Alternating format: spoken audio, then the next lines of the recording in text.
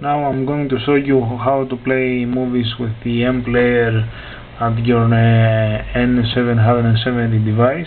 So we can go to extras MPlayer